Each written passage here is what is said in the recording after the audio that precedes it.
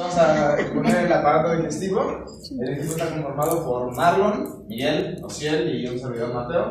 Y pues bueno, para comenzar les doy la palabra a mi compañero Marlon. Espero resolver, bueno, podamos empaparnos de conocimiento de ah, Bueno, como una pequeña introducción, el aparato digestivo consta de, pues, de un tracto digestivo y sus anexos.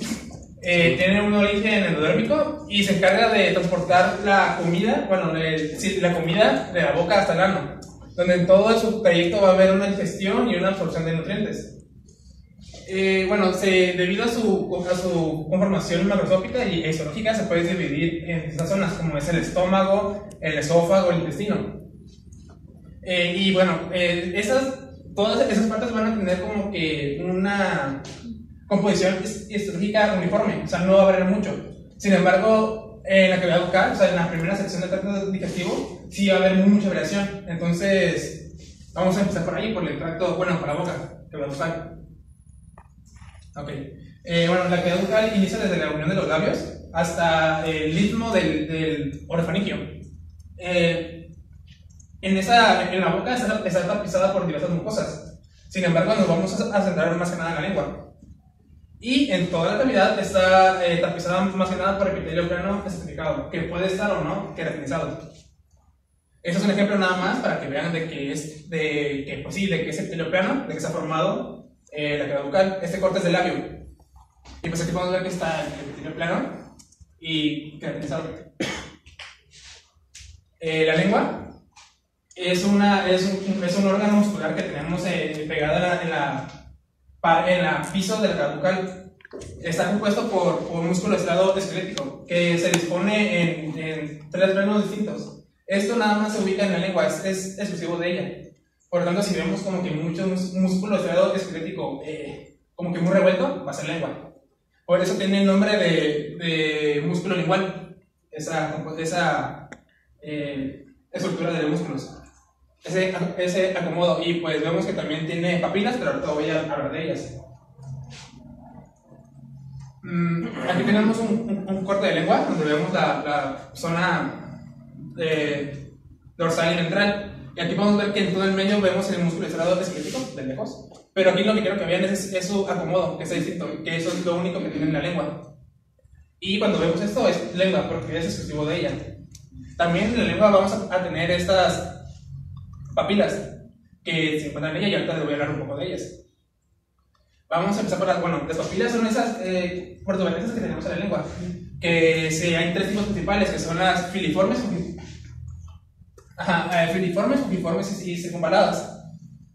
Eh, vamos a iniciar por las filiformes, que son las que son las más abundantes y, pequeñas de la lengua. Eh, gracias, gracias, a esas es que tenemos un color organización en la lengua, porque por su queratina y porque ahí se acumula una capa de bacterias. Para poder identificar esta papila, eh, está fácil, es nada más saber, bueno, es, ver que tiene una, una, forma cónica, como vemos aquí, dirigida hacia una dirección que, que sencilla es hacia atrás y que va a tener un núcleo de tejido conectivo. Esta papila no va a tener eh, bulbos gustativos, también es una característica de ella. Y su función más, más que nada es mecánica. Entonces aquí podemos ver que, que pues, es cónica, dirigida hacia una dirección, hacia atrás. Aquí vemos otro, ejemplo. También esas que no son, que no son tan cónicas, pero vemos que está, tienen una, una dirección, también corresponde a las papillas filiformes. Aquí tenemos otro, otro ejemplo. Que tenemos que la queratina forma como un cono dirigida hacia un lado, las dos. Tenemos otro ejemplo. Luego tenemos las papilas fungiformes, y como su nombre lo dice, tienen forma de hongo. Vamos a ver ese ejemplo de este.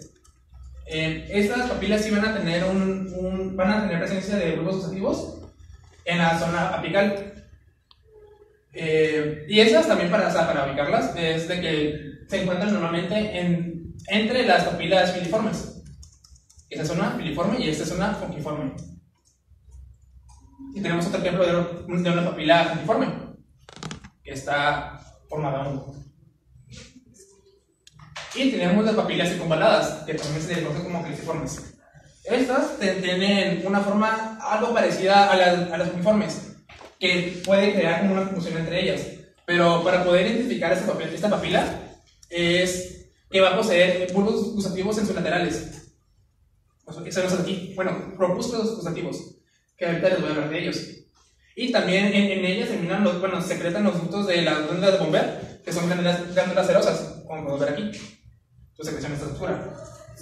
Eh, y bueno, también posee epitelio plano, que puede o no estar desertificado, puede, que, que, puede o no estar queratinizado. Eso depende mucho según qué roce hay o no. Pero la, la, literatura te, lo puede manejar a que esté queratinizado o no. Mm, aquí tenemos otro tipo de las papilas caliciformes. Que pues, para identificarla va a ser, o sea, puede tener una forma muy parecida a la fujiforme, pero va a presentar estos propúsculos y las glándulas cerosas que son las glándulas de, Bomber. Y veamos otro ejemplo. Aquí, lo, bueno, aquí apenas se ven los, los corpúsculos y aquí se ven las glándulas de Bomber. Y aquí le puse, o sea, les, les puse la, la, la fujiforme y la calciforme para que vean eh, cómo se diferencian.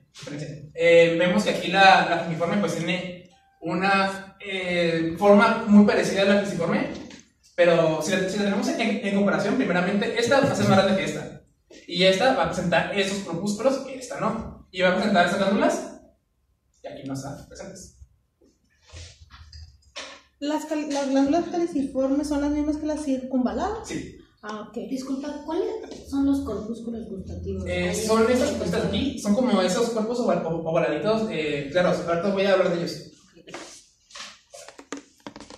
Los gustativos son los que mencionaba que se encuentran en los laterales de los cruciformes o en las zonas apicales de los cruciformes. Es, eh, son cuerpos ovalados claros, se puede distinguir eh, en vista. Y están formados por, o sea, no son solo las, son varias. Está formada por tres principalmente, que son las neuroepiteliales, que son las sensoriales, eh, son las eh, sostén, que son las menos abundantes, y las células basales, que son basales. Aquí vemos un esquema de cómo está, que, que también va a poseer acciones y todo eso, pero eso no lo vamos a ver. Mm. Aquí tenemos un ejemplo de, de, donde podemos ver que sí es un cuerpo ovalado. Claro, más claro que, que los demás. Que a volver a, a poner la imagen del, de la cristiforme. Vemos eh, la línea. Esos, esas zonas más claras eh, corresponden a los corpúsculos. Son cuerpos ovalitos más claros. Y ya viéndolo de cerca, se va a ver así. Donde aquí podemos ver su célula sensorial, que pueden estar alargadas o no. Pero pues, en las fotos que encontré salen más circulares que nada, pero los libros lo manejan alargadas. Y las células de sostén, que también te la manejan alargadas, pero aquí sí se ven más alargadas y tienden a ser más oscuras que las, que las sensoriales. Y luego tenemos las basales, que son más oscuras todavía y se encuentran en la zona basal. Ah, aquí tenemos otro ejemplo, donde ya podemos ver que está más claro el cuerpo ovalar y son distintas células que lo conforman. Y bueno, también eh, ya en la, en boca también se encuentran las glándulas salivales, que se dividen en dos, en mayores y menores. Pero aquí vamos, nos vamos a enfocar en mayores, que son tres. Ah, son glándulas pares también. Eh, la parótida, la sublingual y la submandibular. Y para distinguirlas, más que nada lo vamos a hacer por por su secreción, no tanto en, en cómo están, cómo hay, todo eso. Eh, la parótida va a tener una, una secreción cerosa. Eh, y va a presentar estos, esta, este, estas eh, tipo tabiques de tejido conjuntivo que se van a expandir formando trabéculas en las glándulas. Pero para, para reconocer eh, que es parótida va a ser más, más que nada por su secreción, sabiendo que se las animales, que va a ser una expresión celosa. Y aparte de que sería la glándula más grande que tenemos. Eh, aquí tenemos un ejemplo. No, no, ah, también va a dar. Okay. Tranquilo, tranquilo.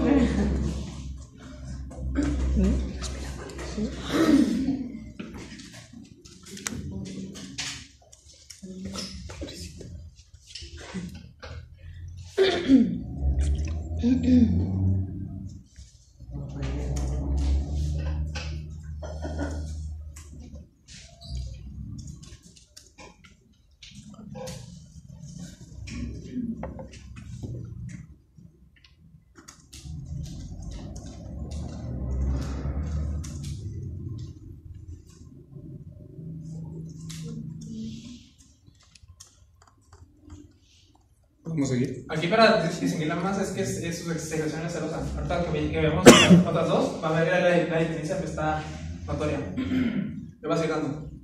También puede haber quince de tejido adiposo. Pero aquí lo que quiero que vean es que la secreción es celosa. Es celosa, no, no vamos a encontrar mucosa, va a ser muy raro que encontremos mucosa o mixta. Luego tenemos eh, la sub- submandibular, que esa es una secreción mixta, pero va a predominar la secreción eh, serosa a la mucosa. Como aquí podemos ver, aquí hay una glándula mixta donde tenemos secreción mucosa y secreción serosa. Muchas serosas, mucosa, mixta, eh, serosa. Eh, pues sí, Eh, aquí para saber qué, qué es glándula submandibular, van a ser que es, que es una secreción mixta, pero va a predominar la, la secreción serosa, oscura. Ahí no dicen mucosa. Sí, pensé que se me Ah, perdón, lo, lo, lo- O sea, ¿con dominio mucoso o celoso? No, dominio celoso. Ah, ok. Que es que pasa. En la parótida. No, no. En la sam- se- La- sublingual. La pero- parótida. La parótida, la, la parótida es celosa, celosa. Submandibular mixta con dominio celoso. Ok. Y Con esto eso. también. Y ese es con dominio mucoso. Ah, No, no, no, no. También. Celoso. Tranqui, tranqui. Ok. Ok, escucha. Tranquilos, apenas vamos a lengua.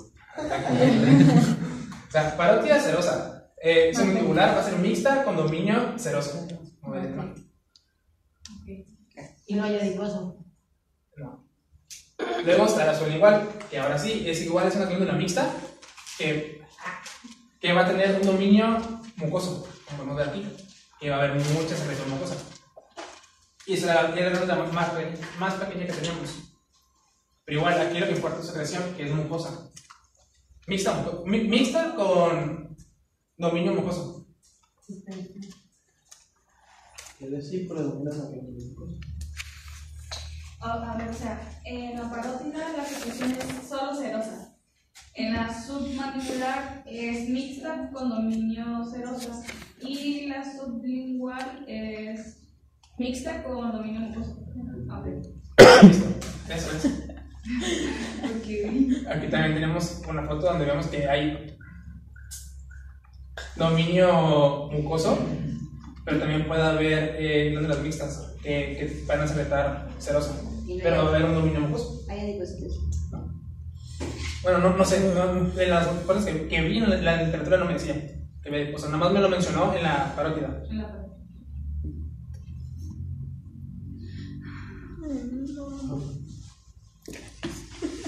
¿Va a seguir? Sí, gracias. Ah, Ahora vamos a entrar con, la, con el tracto digestivo. Pero además, eh, como hemos estado viendo, se divide en cuatro capas principales, que es la mucosa, su mucosa, muscular exter- externa, adventicia. Ahorita lo vamos a volver a ver. Vamos a empezar por la mucosa, que se compone por un eh, tejido epitelial que da la luz. Que aquí podemos ver, ese es un ejemplo. Eh, a- aquí no importa saber de, de, de qué sea corta, aquí nada más es entender qué capa es, que es la mucosa. Entonces se va a componer por un tejido epitelial que se ve que debajo de él se encontrará una, una eh, Lámina. Sí, un- una, una, una lámina que lleva la lámina propia, pero es tejido conjuntivo. Que es lo que podemos ver aquí, en la lámina propia. Que puede variar, de puede ser denso, denso o laxo. O laxo. Y debajo de esa capa de lámina propia, que está debajo del tejido epitelial, se va a encontrar eh, la muscular- muscularis mucosa, que es músculo liso, que se puede encontrar longitudinal o circularmente. Que es la capa más profunda de la mucosa, la muscularis mucosa. Ah, y también pues que la, la lámina propia se puede encontrar vascularizada. Ah, Bueno. o, o sea que puede ser tejido conjuntivo denso o laxo en la lámina propia. Pero eh, va a dominar Más el laxo, laxo. Ah, Pero y, va a haber denso. ¿y el músculo y el muscular? Aquí está, es esta de aquí, la mu- muscular mucosa, Ah, Y esa sigue es liso, que se puede encontrar parte- Esa sigue siendo parte de. Se llama mucosa, aquí es pura mucosa, por eso se llama muscular mucosa. muscularis mucosa, debajo de la, del tejido. Ajá, es, epi- eh, mucosa, todo es mucosa, ¿eh? Es epitelial, Ajá. lámina propia y muscular mucosa. Ese es el orden que va a tener.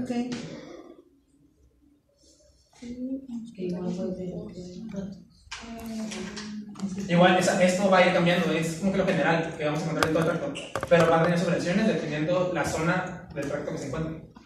Y siempre va a presentar. Eh, dependiendo de la persona que sea, ahorita más, más adelante nos van a dar nuestros opiniones de eso. Pero pues sí, igual el epitelio puede presentar eh, es- es- especificaciones. La muscular y mucosa dice que era qué? Músculo liso. La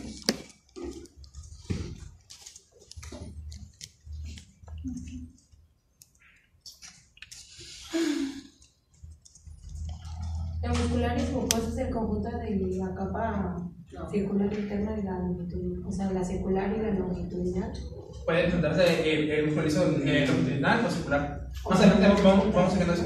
No, creo que la, la- la- cuando están las dos es la muscular externa. La Sí, también. es, pues, la mucosa muscularis, perdón, es una bola. Ah. están las dos. Ahorita vamos a ver eso. Tranqui, tranqui. Ah. Está bien, está bien. ¿Le vas a ir dando? Porque tienen ansias. Luego tenemos la capa mucosa. Y esta se va a encargar de, de juntar la mucosa con las capas adyacentes. Y esta va a estar formada por tejido conectivo, que va a ser laxo o denso, eh, principalmente laxo. También. O denso, dependiendo de lo leas. Porque me me lo, manejaban de la- denso o laxo. Ahí está. Y va a, ser, va, tejido conectivo y va a estar debajo de la capa mucosa. Y debajo, debajo de esa capa va a estar la muscular externa. O sea que puede ser laxo o denso. Más que nada denso. O laxo que depende de leas. Pero pues mira, en el, en el ejemplo como- como- O sea, lo vas a Ok. El ejemplo es laxo, porque hay mucho que. Pero un libro me decía que iba a haber más denso y otro me dice que iba a haber más laxo. Entonces le puse como que va a haber denso o laxo. Ok. Ah, como vayamos viendo la, la, la zona del, intestino, vamos a ver. Pero es para puro. Tejido conectivo, vascularizado. También aquí se pueden encontrar parches, que también más adelante nos hablar de ellos. Está bien. Luego tenemos la muscular externa, que era lo que nos contaba Mateo, de que aquí se puede encontrar un músculo liso dispuesto en distintas maneras, que es el longitudinal y el circular. El trapecio. Eh, también aquí se pueden encontrar los plexos. Papá, ahí está. Ah, No, espera. ahí está. Unos plexos. También eso va variando y como vayamos viendo en el, en el tracto, vamos a ver sus diferencias. Y también está la capa adventicia que se conforma por tejido conectivo. Y aparte del tejido conectivo, aquí va a haber un tejido un, eh, mesotelio o epitelio plano simple. Porque, bueno, ¿ya la puedo dar? Es- es- Ah, es-. La muscular externa es puro músculo liso, ¿no? Sí, dispuesto de manera eh, circular o longitudinal. Y, y o. Y. Y o, Y. o primero uno y luego el otro. O sea, va a, estar, va, va a tener su, su, su Ajá, esa, e- esa foto es, es de una parte del tracto del tracto digestivo. Aquí podemos ver que prim- primero se encuentra el circular y luego la longitudinal. Más adelante nos- nos van a hablar más cómo está eh, especializado en una parte. Regrésale tantito, please. Gracias. O Y el sea, te- y la capa adventicia es parte de la muscular. No, esa Bueno, parte. eso Ahorita voy a. Sí, pero ahorita que. O sea, eso, capa adventicia no es de muscular externa. No, esa parte. Y en la otra capa. Ah, ok, perdón. Son cuatro capas. Ahorita llevamos muscular, bueno, es mucosa, submucosa, muscular y al último sería la adventicia. Sí. En algunas terminas lo manejan como serosa. Cerosa. Ok, ponerlo.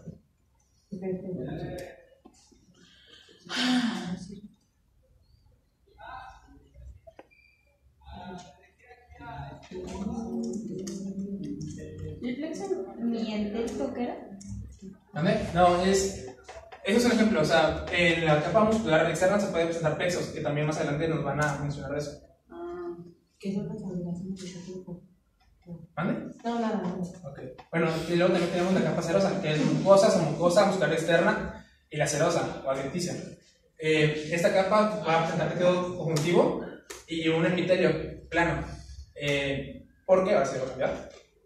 Vemos que el corte es, es- eh, va a tener una luz eh, pues, donde va a pasar la, la comida y una luz afuera de ella. Entonces, para que, como ya nos ha enseñado, va a ver donde hay luz, hay epitelio. Entonces, aquí se va a presentar el epitelio el epitelio de la capa mucosa y el epitelio de la capa eh, que va a dar la luz. Y ese epitelio plano. Plano. Sí, sí. Una dentición. Tejido conjuntivo y luego epitelio. Eso como el ser esófago. para identificar, ¿no? ¿Vale? Claro, ya no. Siempre va a ser epitelio plano. Claro, pero ahí sí. ¿Puedo ver tantito la imagen? Donde ¿Cuál? está más de cerca la bendición. Ah, esa. Ok.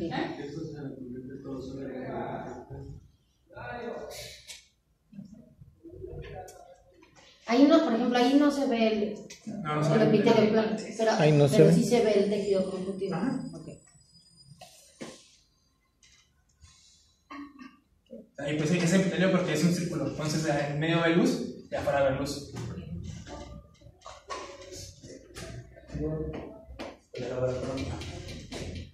Bueno, ahora ya, esto que nos explicó Manu son como las generalidades de las capas de todo el tracto digestivo y dependiendo del órgano va a ir cambiando poco a poco. El primero que les vamos a presentar es el esófago. Este es un tubo muscular de aproximadamente 25 centímetros de largo que conecta desde la faringe hasta el estómago. La función principal de esto es transportar la- el alimento masticado o el bolo de, o sea, de la boca al estómago para que pueda ser digerido. El, el paso de la comida por aquí es rapidísimo, este, si no me equivoco es el más rápido de todo el sistema. sistema. Son unos cuantos segundos, o sea, que se tardan en tragar, pues. No, no es mucho más. Y bueno, a lo largo de, de toda su longitud está compuesto en los pliegues longitudinales en la capa serosa que se puede ver aquí, que a veces pueden apa- aparecer hasta que está colapsada la luz, o sea, que está completamente cerrado, pero esto o sea, es normal. A la hora de pasar la comida esto se distiende y, y pasa. El- Este efecto es por estos mismos pliegues. Bueno, en general, aquí está, ahorita vamos a ir una por una, pero bueno, podemos ver la distinción de la capa mucosa con su epitelio, el tejido conjuntivo, el músculo, la capa submucosa, luego tenemos la capa muscular externa, con aquí las dos cajitas de ¿no? circular y longitudinal, digo, sí, circular y longitudinal, y la capa adventicia. Bueno, la mucosa está compuesta de, primero, un epitelio plano, un epitelio simple, es de- es un epitelio plano estratificado.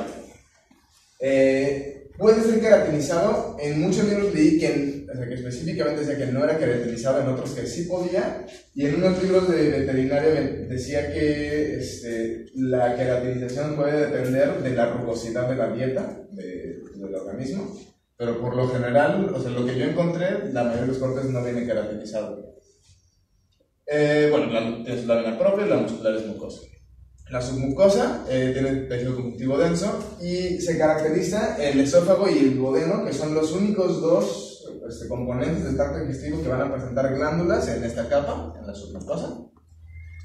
Después tenemos la muscular externa, que está dividido en una capa circular externa y una longitudinal interna. Ahorita les vamos a ver bien bien qué contienen. Y por último, la adventicia de tejido conjuntivo. Al otro lado. Se complica. Mm, Es circular, externo y longitudinal. Ajá.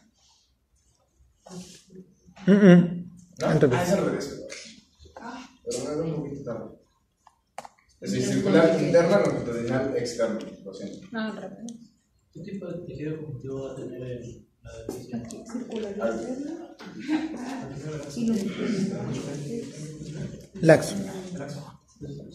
Y.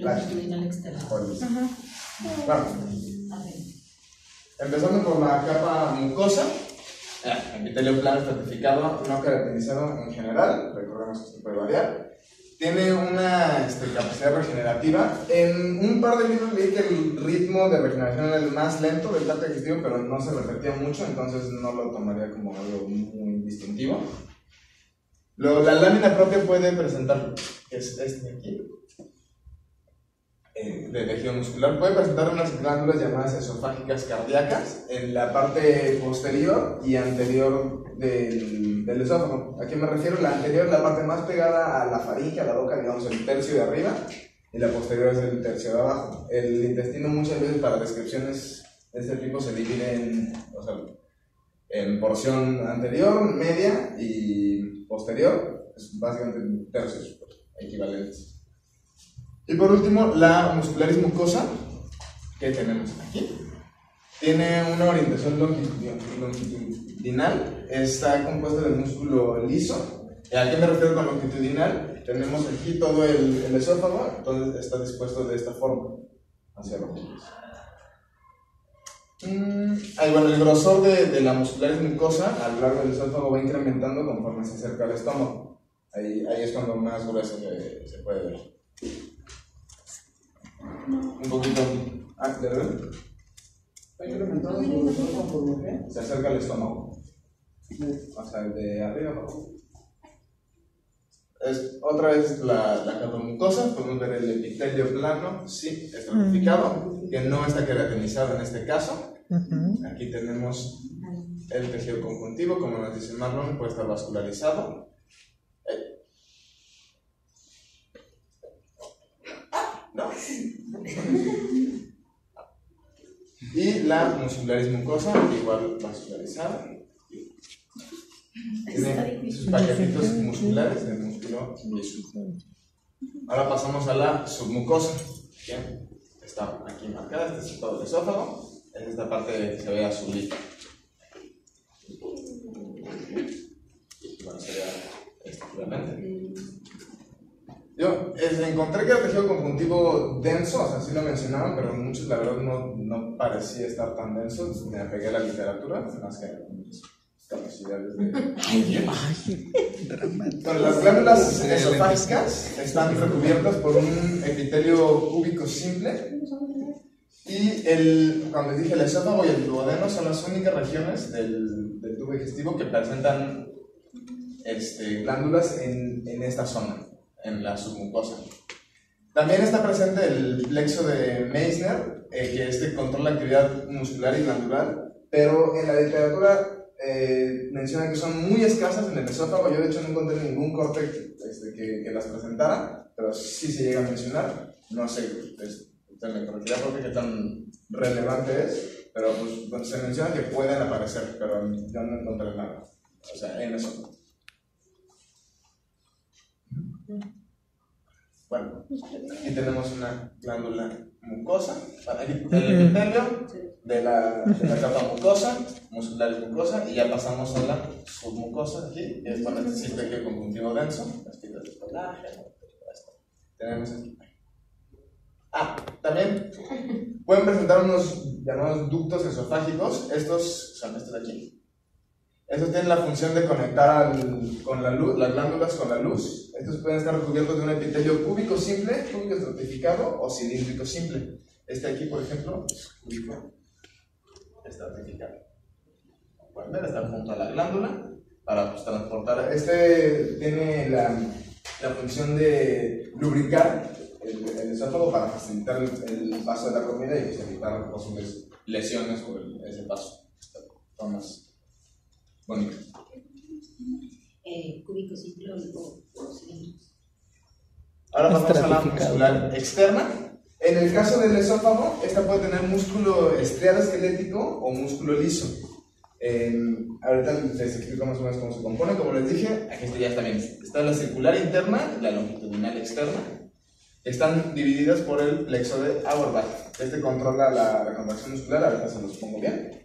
Ahora, la composición del músculo, conforme vamos bajando por el esófago, en la parte anterior, o sea, la más pegada a la boca, hay mayor concentración de músculo esquelético y menor concentración de músculo liso. Las dos pueden estar presentes, pero se observa más músculo esquelético.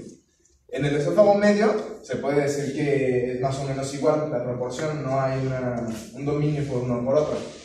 Y por último, el esófago posterior, hay una menor concentración de músculo esquelético y una mayor de músculo liso.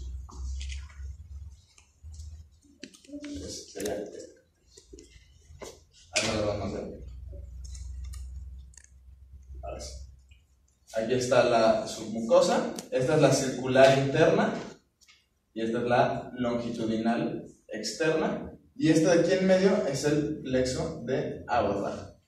Cuando digo que tiene una disposición circular, ¿a qué me refiero? Está alrededor del tubo.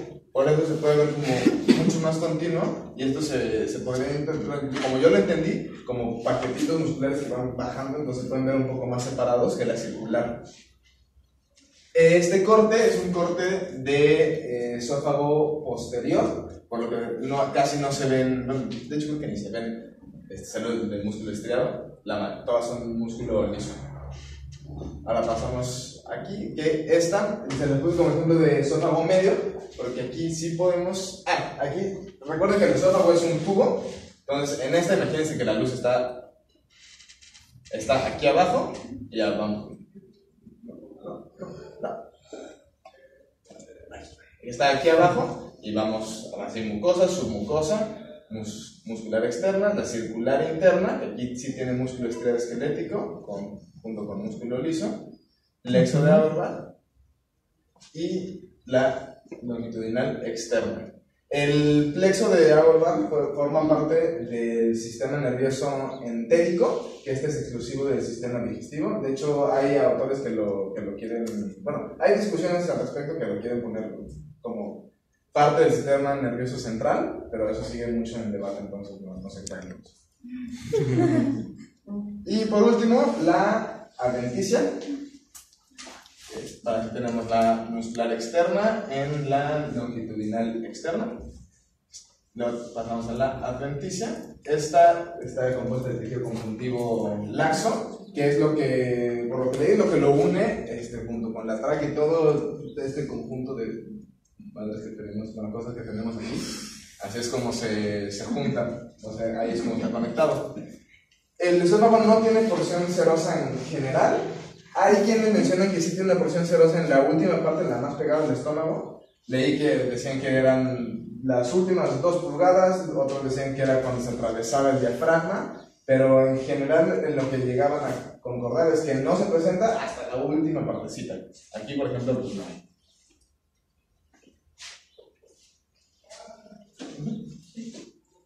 Y bueno, por último, aquí un corte de- con todas las capas.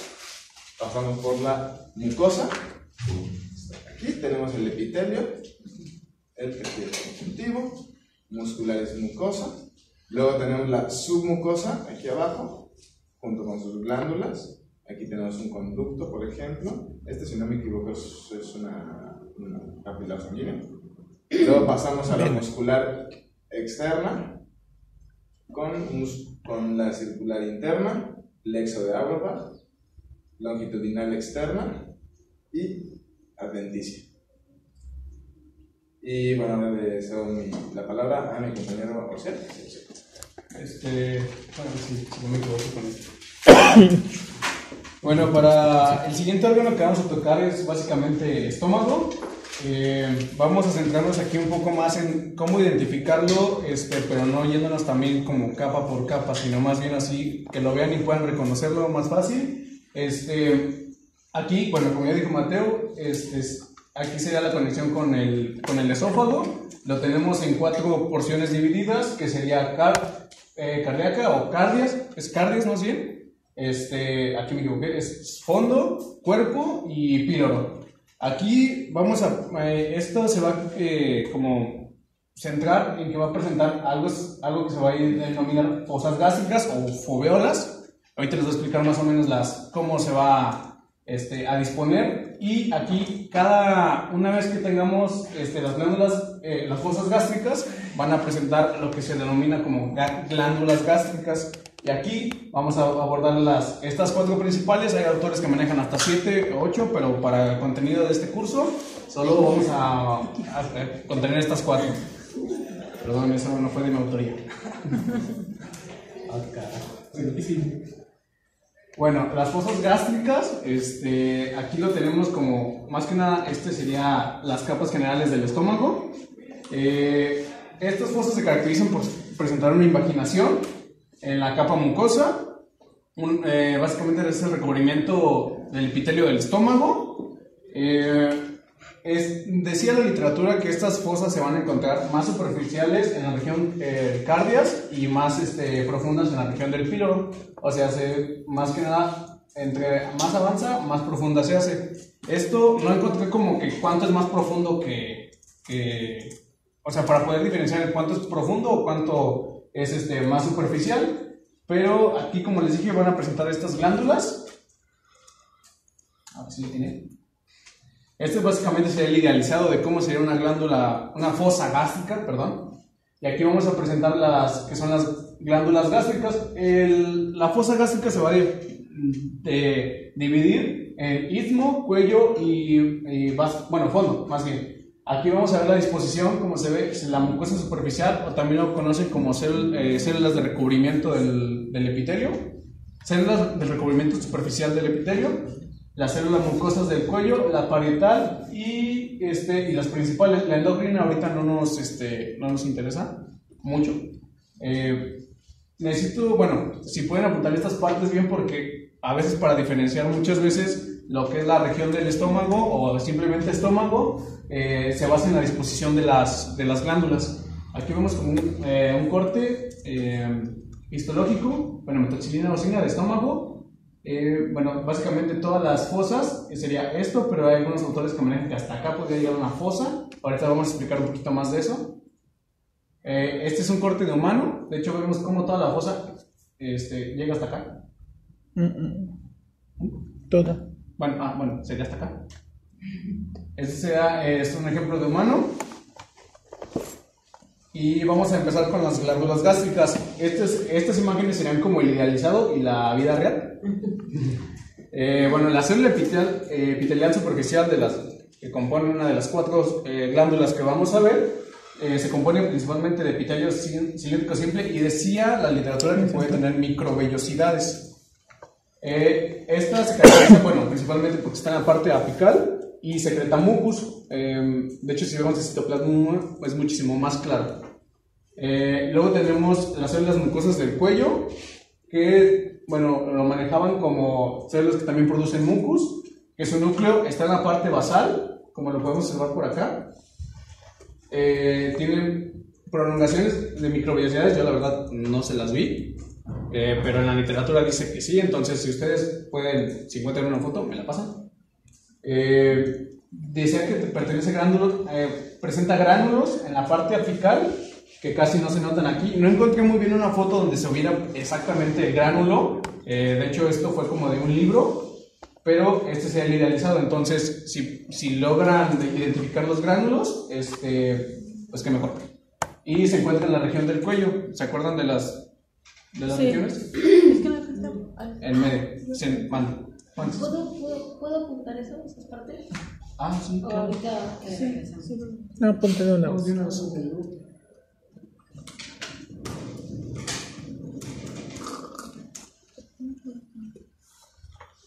De hecho, ya está en el drive. si lo quieren checar o algo. Tú me dices así. Ya. Ahí, espera. Ah, perdón, Listo, perdón. listo. O sea, básicamente es la dis- el- para diferenciarlos es aquí sería la posición del núcleo y aquí sería la ubicación. Es en el cuello y en la parte superficial de la fosa gástrica. La, ¿Puedo seguir? Sí. Ah, Las células mucosas del cuello son epiteliales. Eh, sí.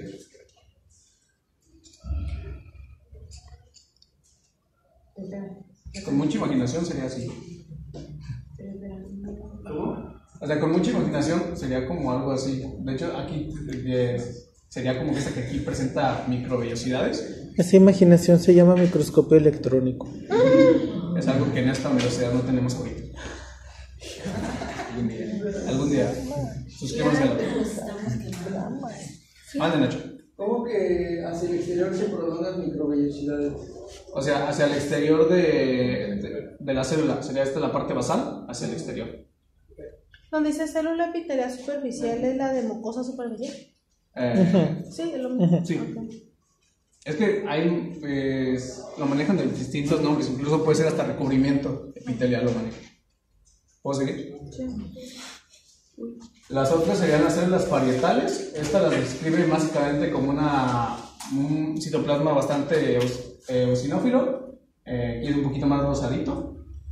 Y una forma triangular. La verdad, no le encontré mucha forma triangular más que a esta. Si se fijan aquí, parece como un tipo conito. Puede ser irregular, una forma estelar.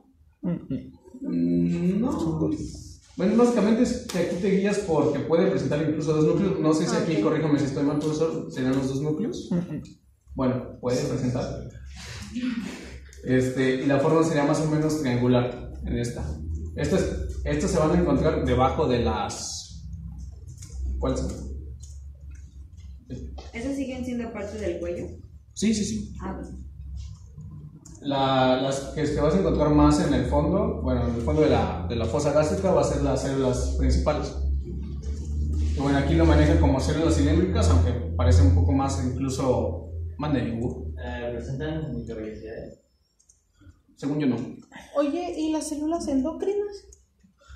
¿Qué es eso? No. no. Ah. Es que, el, de hecho, en el temario viene que solo aborden cuatro, porque Ah. las demás están un poco... es Las células principales son las últimas que están abajo, ¿no? Ujú. ¿Alguien no está poniendo atención? bueno, y siguiendo serían las células principales, que estas serían ya como en la, en la base de la, de la cripta, bueno, de la fosa gástrica, perdón. Y su citoplasma es basófilo, eh, producen la secreción de pepsina. Esto, es- esto ayuda a amortiguar el, los jugos gástricos de, que produce el estómago. ¿Mm? Enzima. No, perdón. Bueno, no, perdón, ahorita. Ahorita les explico qué es pepsina. ¿Eh? Era para, para, para, las proteínas. Ah, sí, perdón, para. Perdón, era para proteínas, lo siento. Es mucha información. Y bueno, los núcleos- el núcleo dice que está localizado en la base de, del- de la célula. Si lo, se fijan, es como en las anteriores que les presenté, pero la- aquí la diferencia va a ser la, la ubicación en la, en la cripta. En la, sí, no, en, en la fosa gástrica. Hasta abajo van a estar las células principales. ¿Alguien quiere cambiar? Y, y está granulado entonces. es que le salió el conectalo. Conecta la computadora.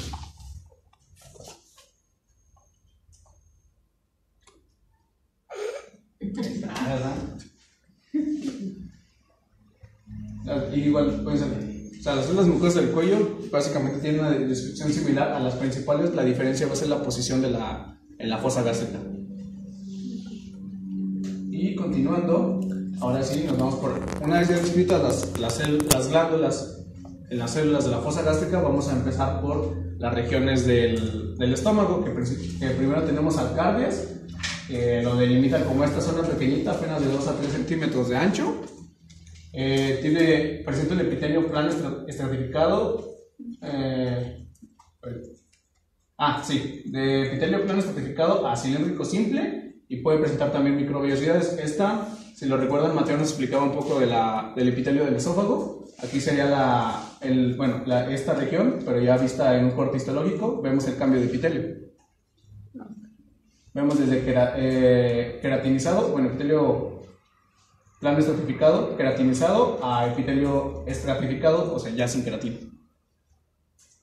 Y, mm, bueno, esa sería como la principal diferencia. Aquí siempre vamos, eh, si logran ver esto en un corte, es este, es, bueno, es estómago. El órgano sería estómago. Aquí le hacemos un zoom y ya vemos eh, la diferencia perfecta entre la queratina y nuestro epitelio plano estratificado. Perdón, hecho. ¿Algo más? ¿No? ¿Ya? Sí, la capa cerosa. Dice que en la capa serosa, serosa se observa el peritoneo. Como el peritoneo. Peritoneo. Eh, faltó, ahí faltó un acento. No, no está acento. Eh, bueno, será la capa serosa la adventicia sería hasta después ya de seguir de la muscular externa, pero aquí no encontré como una foto donde se observara. El como Marlon nos explicó, esta este, va a presentar tejido conjuntivo laxo este, y luego un recubrimiento de epitelio plano simple. Primero, en esta parte. Ajá, en- Ay, perdón. ¿Aquí o en la otra? no, bueno, en, en el cambio del ep- de. Ajá. Es, eh, primero es epitelio plano estratificado. Eh, ¿En el? Sí. Y luego E- ese- ese es el ¿Esta? primero. Ajá. Con, los izquierdos no. Al de arriba. No, este sería, este, sería- este es parte del estómago. Ajá. Eh, bueno, aquí sería epitelio plano estratificado queratinizado. Ah, ok. O sea, está al revés. O no. No, no, no. Es la conexión. No, es- es la función. Llega al estómago, Sería esta conexión. O sea, el estómago es la parte de abajo. Ajá, ese es el estómago Esa es la y ese es el de esófago. Ah, ok, ok, ok. Y ya este sería el cilíndrico simple. Ajá. Ok. Sí, es que me confundí. Perdón, es- está un poco rebotado. Entonces, no, en la, ma- en la imagen no muestra la, la capa cerosa. No. De hecho, mencionaban algunos de la literatura que solo se logran observar las tres primeras capas, mucosa, submucosa y muscular externo. Ah. Pero pueden en algunos casos presentar la, la cerosa. Ah, ok. ¿Puedo continuar? Bueno, aquí ya la imagen que se había mostrado y luego seguimos con el fondo.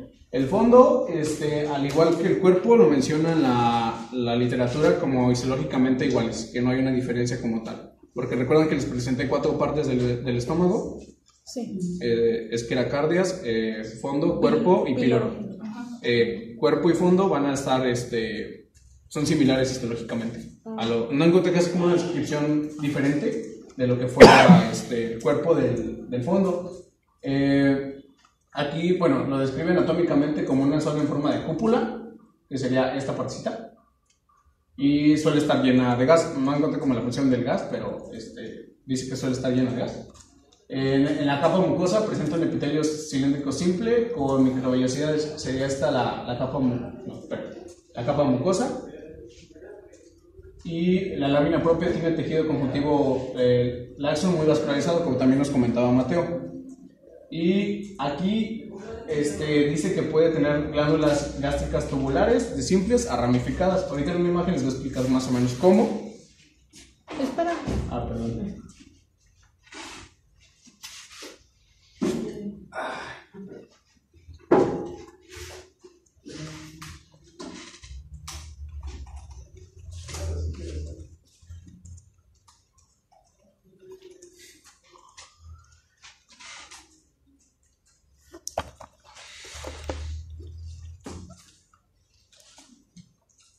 No es que se va a ver mucho. Sí, la de atrás. Bueno, no, porque lo prestamos ahí. Toda.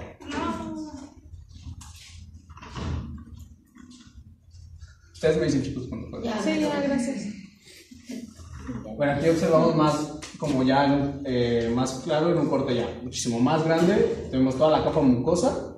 donde Se ven las, este, las fosas gástricas, llegan hasta incluso hasta acá. Tenemos la muscularis mucosa, que como mencionaba Mateo, que puede estar incluso, es la conexión entre, eh, presenta epite, eh, no, músculo liso, perdón. Así se vería un poco, es para la sección de fondo. Y ya con un acercamiento podemos ver que decía que incluso las glándulas presentes aquí, eh, las tubulares podrían estar un poco ramificadas, a lo que yo eh, este, como a mi punto de vista, esta puede ser incluso una ramificada que aquí se divide Ah, ok. y un tejido conectivo muy vascularizado. Este me parece que es un basanillo.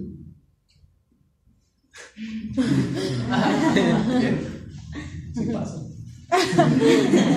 Ven. Ya. Ah, espera, o sea Ven. que las ramificadas son, las que son las que se dividen y las tubulares es la que es una sola así.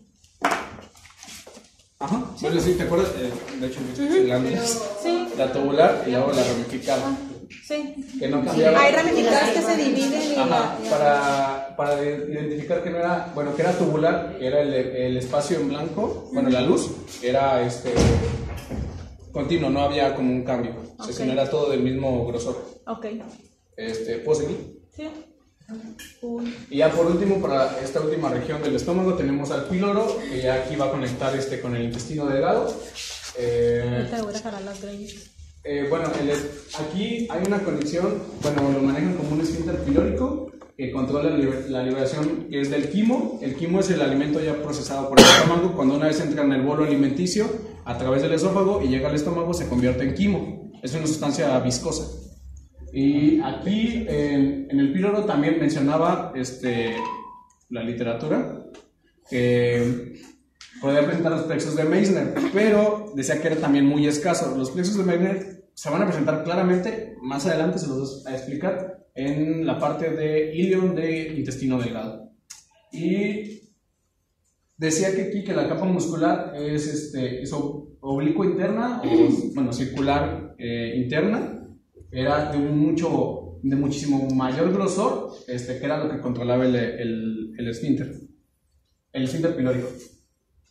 Y bueno, aquí vemos una, bueno, todas la- las secciones que les acabo de explicar, desde la capa mucosa, las glándulas pilóricas, eh, básicamente para diferenciar ahorita de lo que se van a confundir un poco con lo que es intestino y es estómago, es la presencia de abundantes glándulas en, este, en la capa mucosa, seguidas de las, de las fosas gástricas. Ahorita les voy a explicar un poquito más de eso. Ah, o sea que la, el- la diferencia del fondo y el píloro es eso. ¿Con las glándulas? Mm, no, no, no. No, del esto, del... Del, del intestino y el estómago, que es, que es el, el órgano que sigue, esta va a ser como una de las principales diferencias. Ok. Ahorita les voy- porque aquí eh, vemos, por ejemplo, las fosas gástricas que son muy largas y, seguida, y enseguida continúan glándulas. En el intestino va a ser un poquito más ordenado, incluso eh, se ve más bonito. Ahorita, ahorita vamos a explicar. ¿Ese es el ¿Ese es el píloro? Sí, ese es píloro.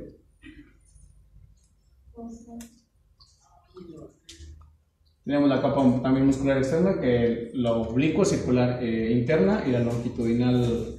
Bueno, aquí está mal. yo, Esta es longitudinal. Y aquí. ¿no? No, sí. O está bien. Bueno, este mayo. Sí, pues que el circular es el que le da la. Ah, sí, perdón, acá está la longitudinal. No lo había visto, lo siento. No dormí. Y bueno, tenemos acá las, o sea, las glándulas, eh, la glándula pilórica, que era más que nada una disposición eh, mucosa, y las fibras musculares, que de la muscularis mucosa, que lo- igual como nos presentaba, que puede ser longitudinal externa y circular interna. Y vámonos con el intestino. Hasta aquí, chicos, eh, ¿se sienten bien o quieren hacer el descanso? Le seguimos. Ah, no, no, no, Ok. Tengo una pregunta. Mande. Eh, en el fondo y en el píloro, las glándulas en los dos son mucosas. Según yo sí. Pero hay más abundante en. Bueno, ¿no? En el fondo. Pero en el fondo, ¿para qué necesitan? Es que la diferencia, la diferencia, bueno, a lo que entendí es que, por ejemplo, en, en fondo, las glándulas van a ser como tubulares, este, o tubular ramificada, y en,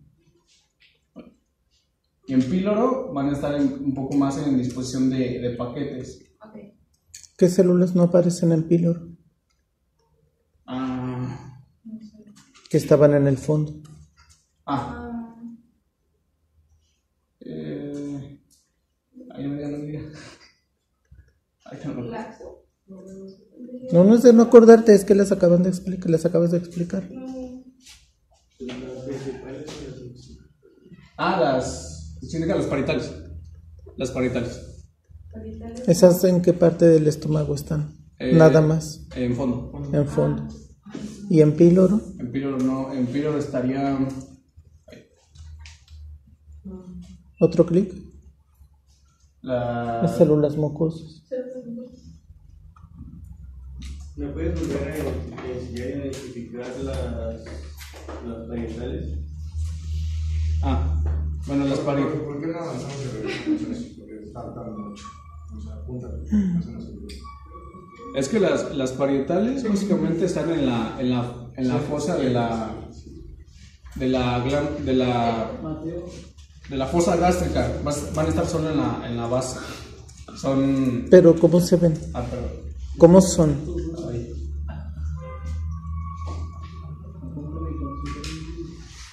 Ahí. Cómo serían. Aquí serían, este, bueno, tienen un, un sitio- eh, es un núcleo más pegado a la zona basal. No, cosas que se vean. Ah,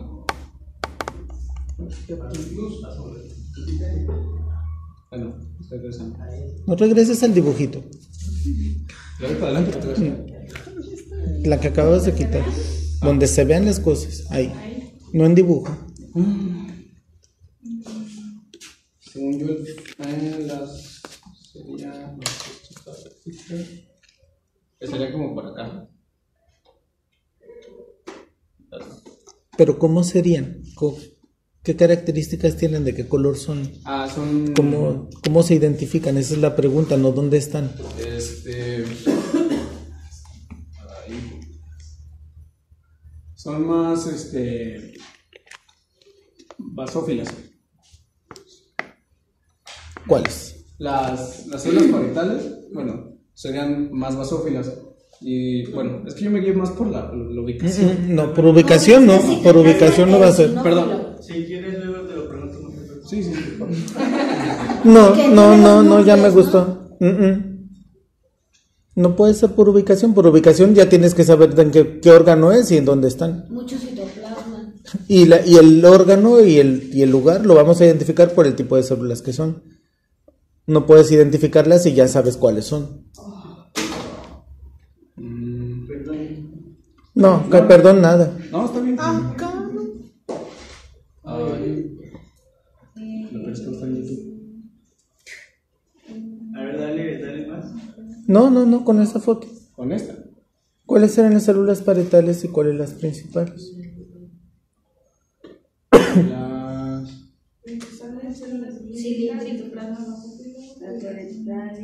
Parietales son las caras. Son las que pueden presentar dos Bueno, o núcleos. sea, parietales, lo que yo entendí que dijo José, son las claras. No, son las que Más arriba. ¿Más arriba? O sea, el dedito pues, señala la, esa. Ajá, Esa. esa. Esta, ¿no? Sí. Esas son las, las, las claras Sí. son las parietales. Ujú. Y las otras que eran las Principales. principales van a ser más. más azúlitas. Y son. No son, son glándulas. Esas. Son esas. Parietales Ajá. y principales. Principales van a ser más oscuras y las parietales van a Basófilas. ser basófilas. Y las parietales van a ser más eosinófilas. Ujú. O sea, pero la, la principal, las células principales son los puntitos que están alrededor de la glándula. ¿O es todo? No, esos son los núcleos. Ah, No, los núcleos. los- los- Ah. Esos son los núcleos. Ajá. La célula es todo. Ajá, ¿y la de abajo? Es, es esto. Ah, Y- es todo. Ah, es que se parecen mucho está en el fondo. Se parecen. Pues es que Sí, hacen glándulas, hacen las este- glándulas, es el epitelio de la glándula. Ok. O sea, pero la característica es de que la parietal está en el fondo y en el pílulo. Son las células que conforman el En el píloro no En el píloro hay. ex- no En el piloro no hay. Yo decía, una célula. Ajá. O sea, pero el nombre no es por donde están. Entonces, El nombre de la célula no es donde está la lo que célula. No señalaste. es Sí, la parte del estómago, porque identificas la parte del estómago porque está. Y las parietales. Ah, son varias. Ah, ok, yo. Ajá, son varias. O sea, Aquí- aquí-. Ah, ok, ok. Es el epitelio de la glándula. Ok, gracias. Entonces, cuando, cuando veamos más, más basófilo, o sea, más oscuro, van a ser las principales. Cuando veamos más eosinófilo, más clarito, van a ser las principales. Parietales. Parietales. Parietales. ¿Y qué tiene que ver que esté cerca del píloro o no? ¿O qué estaban diciendo? No, nada. Ah, Que no están en el piloro. ah.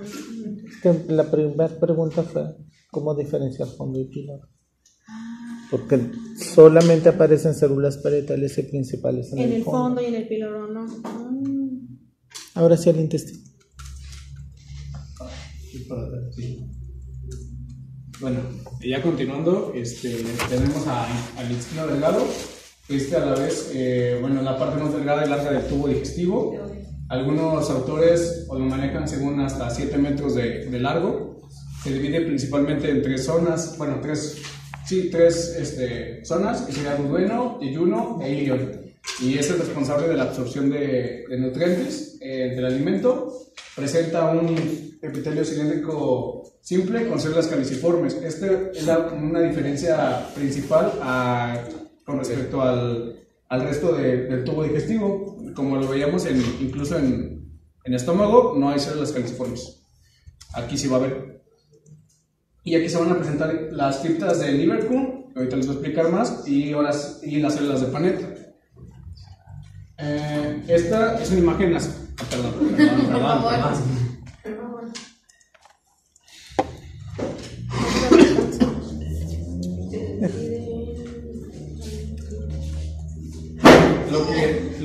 O sea, como sería principal, es que se dividen estas tres capas que presenta este epitelio y que vamos a encontrar estas dos este, características, que son las criptas y las células de Panetta. Lo vamos a ver durante ahorita todo el, el texto. Ahora cinco horas. Tranquilo,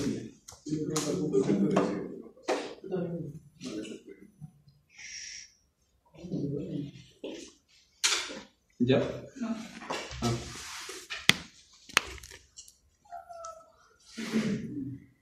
Ah, no sé lo que quiero.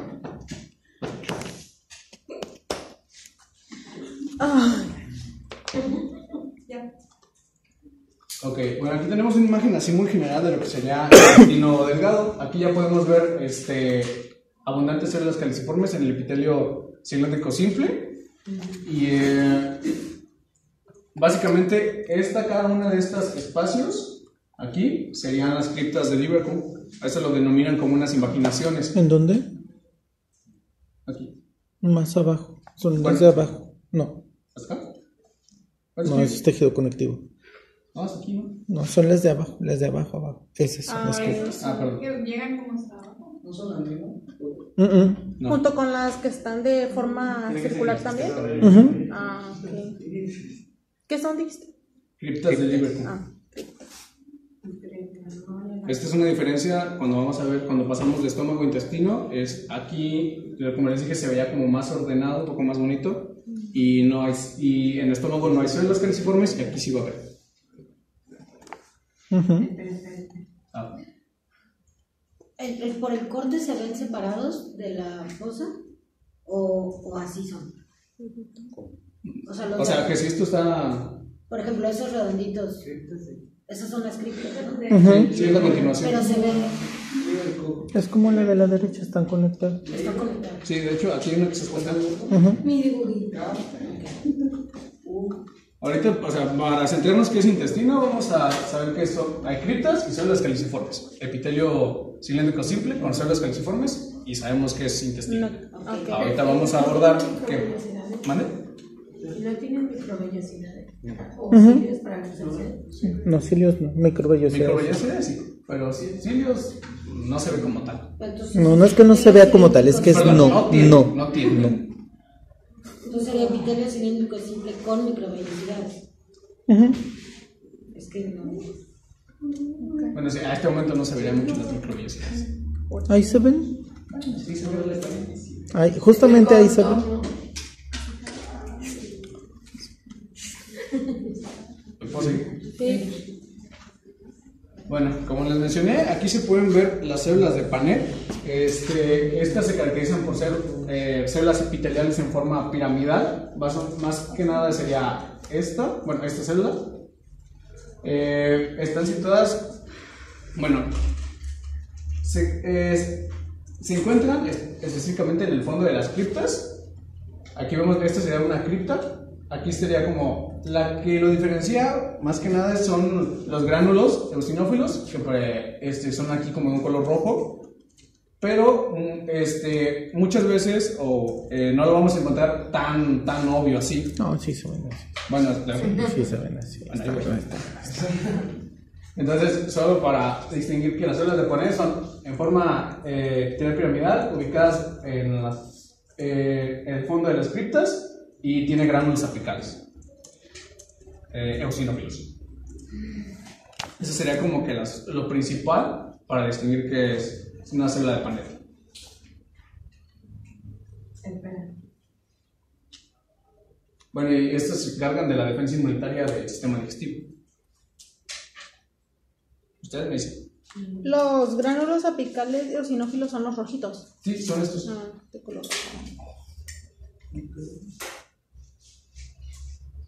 La forma piramidal es célula. No. Sí, no encontré así como que un contorno exacto, pero sería esta. Siempre se encuentran hasta el fondo. Ajá. En el fondo de la cripta.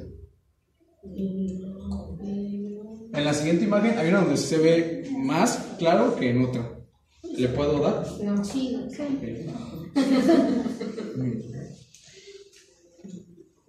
Espera aquí. Tengo que copiar.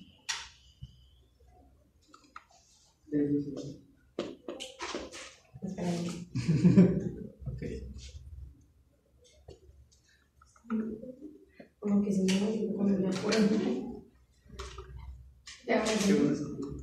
También no me dices. Aquí se ve, por ejemplo, aquí sí sería los gránulos eosinófilos, este, bastante rojitos, esta sería la, la célula de Panet. Y acá lo indican como, bueno, según la imagen, lo indicaban este, en esta parte. Yo la verdad no, no lo supe diferenciar. Yo tampoco. Este, porque no le veo ni siquiera los gránulos y no se alcanza a distinguir muy bien eh, si, están, si están las células de Panet o no. No. O sea, pueden estar presentes en esas células. El lado izquierdo es una negrita. ¿Vale? O sea, todos están en las criptas. O sea, esto sería hasta acá. Este es el fondo de la cripta. Aquí no se ven los gránulos como se vería acá. Pero eso es una cripta. Sí, sí, todo esto es una cripta. Pero ese no. ¿Por qué no una cripta es la forma de Sí, pues, pero. Sí. Es una glándula. Se llaman criptas. Es una glándula tubular simple. Ya. Pero de nada. Es un tubo porque es una glándula tubular. ¿Puedo seguir? Sí.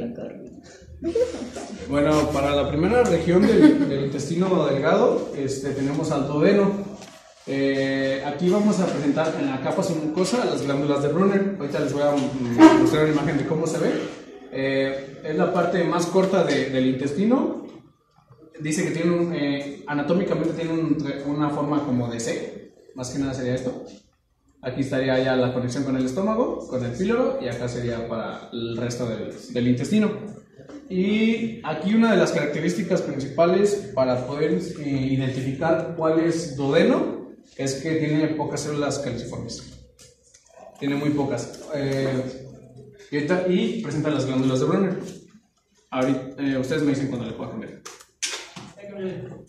Mm, ¿Alguien además de Julián?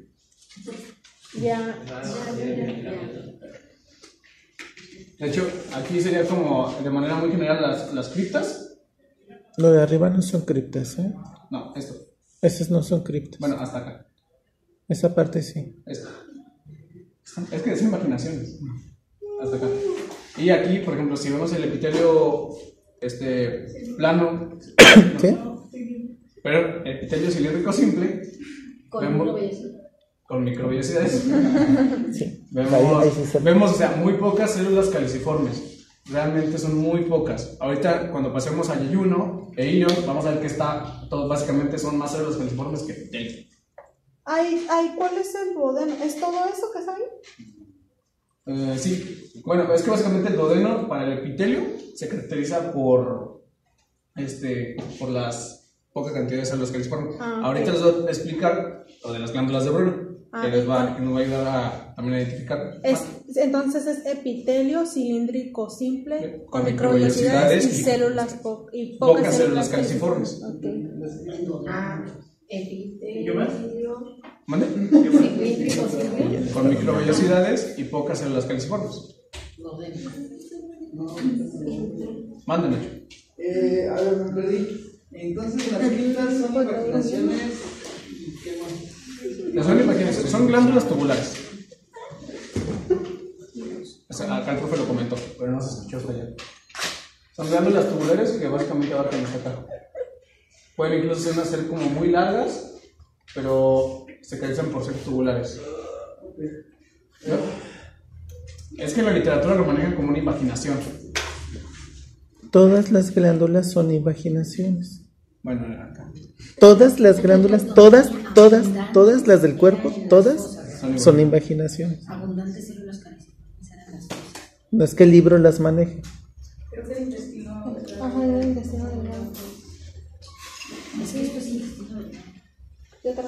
Bueno, básicamente las glándulas de Brunner este, se caracterizan por estar en la, en la capa submucosa, esta es como una característica. Eh, decía la literatura que son células, bueno, glándulas tubulares, ramificadas y semejan como acinos mucosos. Recuerdan que teníamos que era este, tubular, acinar y alveolar. Sí. Ahorita vamos a, vamos a, este, a recordar un poco, como para poder identificar estas glándulas. Eh, estas glándulas también suelen eh, perforar hasta el- las criptas para llevar a cabo secreción hacia, hacia la luz del, del intestino. Y bueno, es para neutralizar, estas son las que son para neutralizar el ácido del estómago. Porque, o sea, como vemos, el estómago está conectado con el, con el duodeno y es básicamente aquí donde recibe todo el, el quibo y donde puede venir incluso ácido y esto es para protección. Esta sería, aquí lo manejan como glándulas de Brunner y en esta imagen podemos ver de, de cuando pasa de, de píloro, de esfínter pilórico, allá a duodeno, que lo vemos un poco más las criptas, un poco más mejor definidas que las fosas gástricas. ¿Sí me siguen en el viaje o no?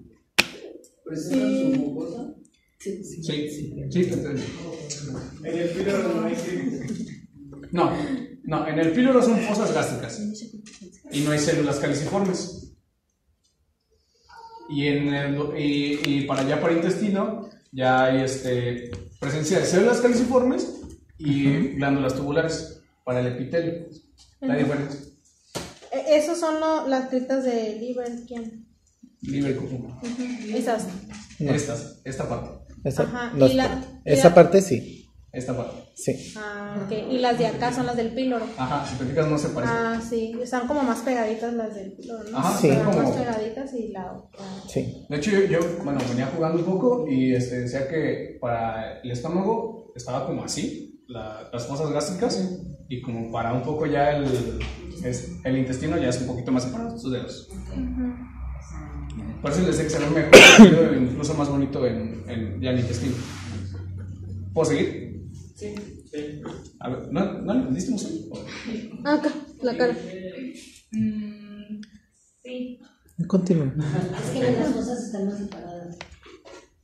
Bueno, para las glándulas de, de Brunner, como les dije, pueden ser este, eh, tubo alveolar, bueno, tubo alcinar, este, ramificada, pero realmente aquí no se ve como una, algo así tal cual, en el conducto ni, el, ni en los acinales, pero se ve la forma acinar. Eh, Es como recordaremos, este, la forma acinar se representaba por ser, bueno, aquí mucosa y el, el epite- bueno, el núcleo centrado en, en la parte más basal y con muy poca cantidad de luz. Así simplemente se les van a llamar glándulas de Brunner porque Ujú. están en el, en el duodeno. En el duodeno. Ajá. Al final de, de- de intestino viene como una comparación entre, los, entre las tres zonas, para que más o menos se diferencien un poquito. Ah. Pues son cosas. Ajá. Bueno, no con- exactamente, pero ahorita vemos eso. Bueno. Dale, no, no. Ok.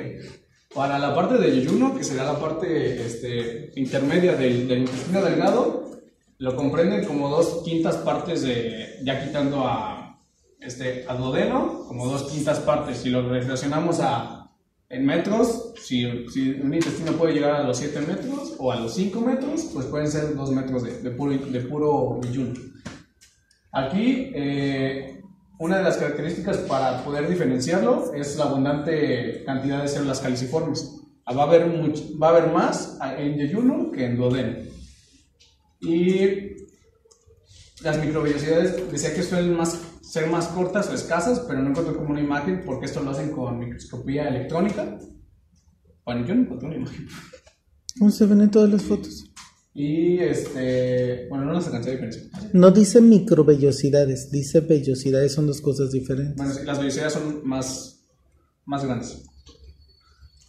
Aquí en esta región no va a presentar como glándulas y las este y los pliegues este bueno los pliegues circulares que es do- donde van a estar eh, situadas las criptas este, son muy abundantes y son bastante bastante alargados. Ahorita le, mm, ¿le sigo o me espero. Ok.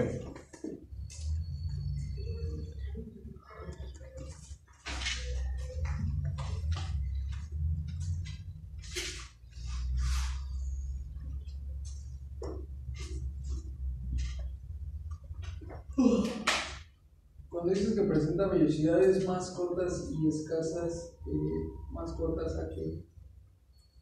Mm, la verdad, yo tampoco mucho le entendí, no le entendí muy bien, o sea, creo que es este, no son tan largas como un cilios. O sea, son No, no, no, no, Las vellosidades no tienen que ver con los cilios y las Es que ahí me microvellosidades. confundí. O sea. Pon la siguiente foto. ¿Dónde dice vellosidad ahí? Del lado derecho. La vellosidad es todo ese pliegue. Lo que al principio todo estaba señalando, todo ese. Y las criptas es solamente la parte de abajo, es esa parte. Al principio estaba señalando como cripta todo. Ajá, no, estos son. Nada más es la parte de abajo. Igual en el duodeno, si te regresas a una de las fotografías de duodeno, también tiene vellosidades. Esas que se ven allá, eso que está por arriba, eso, esa parte se llama vellosidad intestinal también. Dice más cortas que en comparación a las otras porciones del intestino delgado. Es importante identificar las vellosidades intestinales. Regrésate a la de Yeyuno. Ah, perdón. Porque el intestino delgado se identifica porque tiene vellosidades. El estómago no tiene vellosidades y el intestino grueso tampoco va a tener vellosidades. Pero no es lo mismo que microvellosidades. Las microvellosidades son de las células epiteliales, nada más el pedacito del borde del epitelio. Como las veíamos hace rato. Vellosidades, todo ese pliegue que va hacia la luz. Que ahí es donde se da la absorción, ¿verdad? que es donde está la vellosidad. absorción. Todo el pliegue que está hacia la luz rodeado de pues de luz blanca es la vellosidad intestinal y en la parte de abajo de las vellosidades se hace el otro pliegue como imaginación, como glándula que son las criptas del Liverpool. O sea, más o menos siguiendo la metáfora de los cielos. Es- Si es aquí, esta es la velocidad. Es lo de arriba, y esta está- está abajo. Ajá. y la luz. Se encuentran sobre las criptas. Bueno, Mm. arriba. Sí, es que está vellosidad y luego una cripta abajo y luego una vellosidad para arriba y luego una cripta abajo, están intercaladas. ¿Y cuál es el ayuno? ¿Es todo? Sí, ¿por qué? Porque aquí, o sea, como les mencioné, va a estar relleno Más células más caliciformes. De células caliciformes que en. que riego. Y en la submucosa no hay glándulas, como nos dijo Ciel. Ujú. Eso sí está bien. Ay, ya lo tenía. Bueno, aquí ya como otro, un acercamiento más, este, vemos por ejemplo las, las células caliciformes, eh, si recuerdan en, en duodeno solo veíamos una o dos por, por todo el, este, la foto, aquí sí vemos más, bastantes y esa es una de las principales diferencias y que no presenta glándulas. ¿Qué es eso de ribete en cepillo? Son las microvellosidades, es el nombre que tienen las microvellosidades en el intestino delgado. Ese ese es el brush lining. ¿no? El brush border le pongo. Ajá, sí, sí, sí. Eh, Nombres raros que.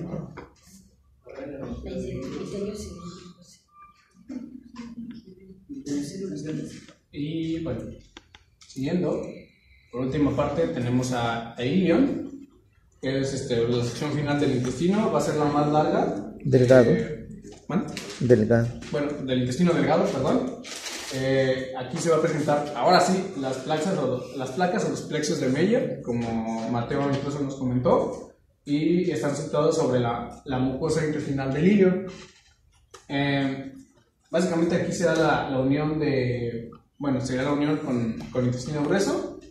Aquí desaparecen las vellosidades y los pliegues no son tan prominentes, parecen un poco más, este, incluso más definidos en forma de cúpula o iglesia, más que nada. Eh, y aumenta todavía más el número de células caliciformes. La diferencia para este que sería, si no, si no sabemos cuánto es más eh, de células caliciformes hay, sería por eh, diferenciar con los plexos de, de Peyer o placas de Peyer. Ahorita se va a ver en la siguiente foto, se ve como una diferencia, se ve bastante marcado el, los plexos de Peyer. ¿Le puedo dar? ¿No?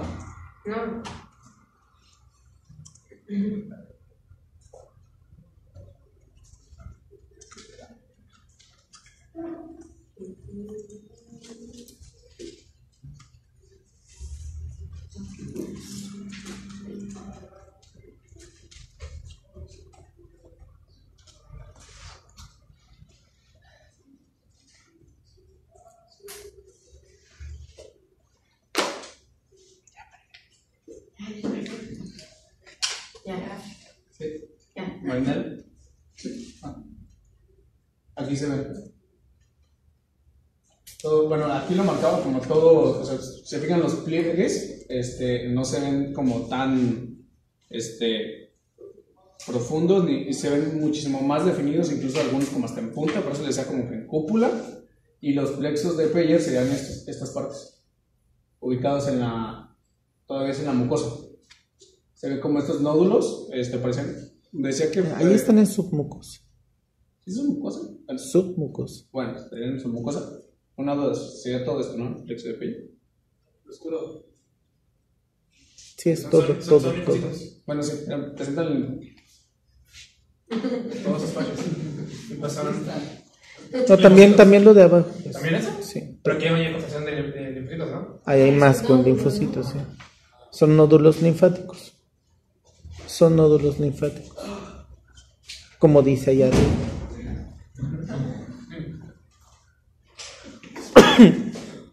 Y bueno, más que nada, tuve una, una comparación para que puedan diferenciar entre las partes del intestino, porque pueden venir en el examen. Este, Serían estas.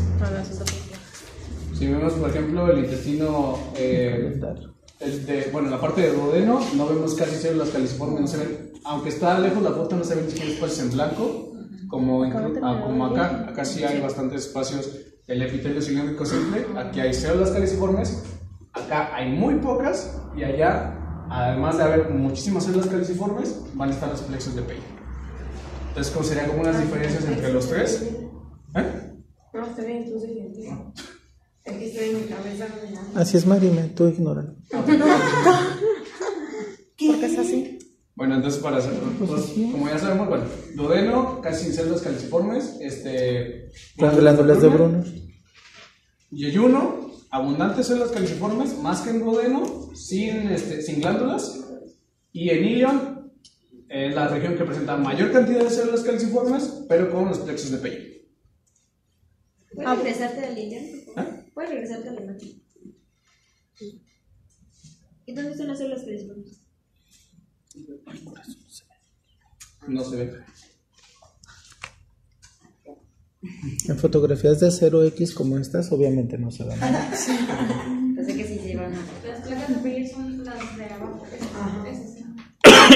Sí. ¿Puedes regresar a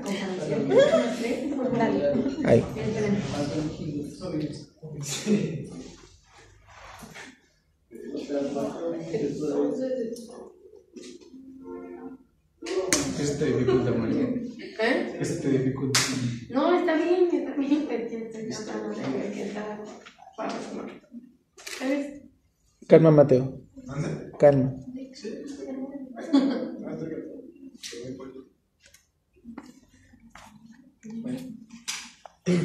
la otra parte es el intestino grueso, que ya es la parte final del tubo digestivo, y este se divide en el ciego, en el colon ascendente, el colon transverso, el colon descendente, el recto y el ano.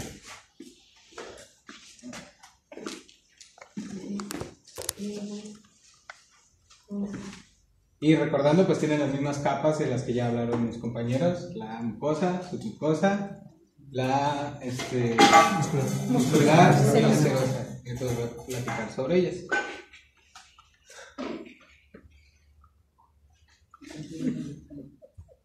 La mucosa está formada por un epitelio simple cilíndrico. Esta tiene este, ah, pocas criptas, bueno, perdón, numerosas criptas de Liverpool. Liverpool, gracias. Me quedé con la. También tiene pues invaginaciones. Y la función principal de este es la reabsorción del agua y del eh, electrolitos. Y también ah, tiene gran cantidad de moco, lo que facilita los desechos de los ah, desechos semisólidos que no son digeridos por cuando pues no masticas bien. Y aquí está la foto.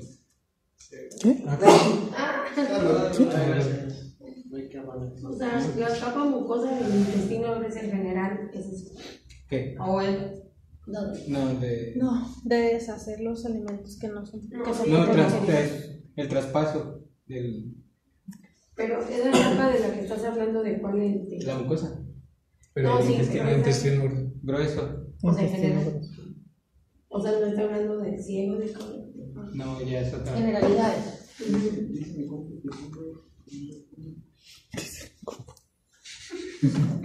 Y aquí está, es esta parte de.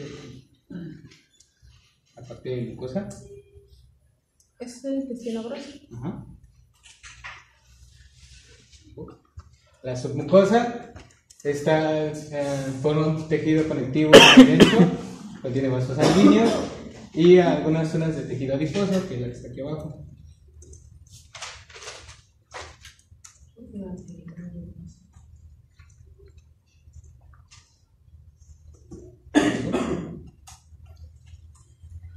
La muscular, que es una capa longitudinal de músculo liso, formada por una capa que se puede observar a simple vista, es la capa pues, más grande. No, nada más hay longitudinal, hay de las dos. Igual que en el esófago. Al revés. No, Circular interno y longitudinal externo. Circular interna y longitudinal externa, como dice Ociel.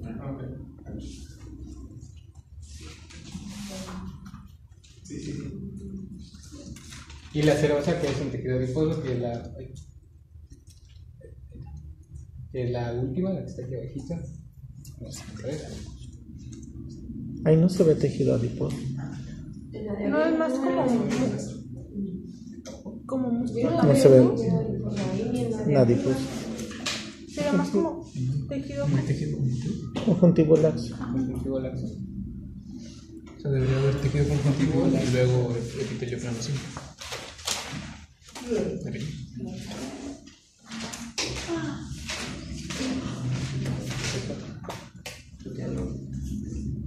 Pícale al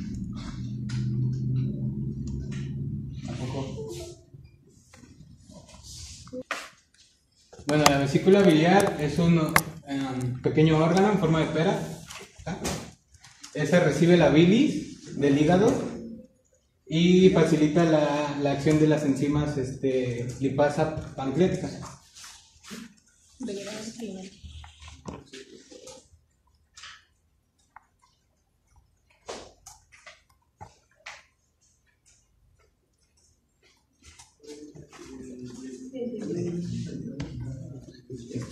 Sí. No basta. ¿Y cómo identificas la vesícula? Eh, bueno, ahora Y el ciego y el otro. Ahorita regresamos a lo- a- al otro. tiene un pequeño retraso de cómo- Se movió. Pero bueno, se supone que. No, es que es momento. O sea, ahorita pasamos. Ahorita volvemos a la. El, hígado es la glándula más grande de todo el cuerpo. O sea, todo el órgano es básicamente una glándula. Tiene secreciones tanto endocrinas como exócrinas. Y dentro de sus funciones están funciones digestivas, la secreción de bilis, por ejemplo, también al almacenamiento de glicógeno y también la eliminación de sustancias tóxicas de la sangre. No, no está avanzando con el ratón. Bueno, básicamente tiene una organización, este, así, está envuelta por una cápsula de, de tejido conjuntivo denso que se llama cápsula de Gleason, todo alrededor. Y la unidad, de- o sea, la célula estructural de- del hígado son los hepatocitos y está dividido en lobulillos hepáticos. Estos lobulillos son todo esto de aquí. La literatura los pone como hexagonales. La verdad es que todos los cortes que vi no vi ninguno hexagonal, pero se supone que son hexagonales, más o menos. Y bueno, o sea, todo el hígado está compuesto de estos lobulillos hepáticos. Aquí tenemos otro. Y los lobulillos, ¿cómo están compuestos? Parten de una vena central, que está aquí. O sea, este es un diagrama de un lobulillo. Parte de aquí. Este, los hepatocitos están acomodados en forma de, de cordones desde, desde la vena central hacia el exterior. Es, les digo, está deli- cada hepatocito está delimitado, el lobulillo está delimitado por tejido conjuntivo denso. Y en las esquinas, del, o sea, colindantes de los lobulillos, aquí aquí, aquí, aquí, tenemos un conjunto de estructuras que se conoce como triadas portales. Estas están como triadas portales. ¿Qué son? Las triadas portales están compuestas de tres cosas. Una arteria hepática, una ven- vena porta y un conducto biliar. Pues estas tres juntas. Ahorita tengo una, una imagen para que se vea bien. Nada más me, me importa que, que se entienda que están, o sea, dónde están puestas. El espacio entre, o sea, donde se contienen estas tres se conoce como espacio portal. Les digo, están en las esquinitas. Ahorita voy a hacer un acercamiento porque aquí no se ve. Cuando me digan. Esperen, esperen.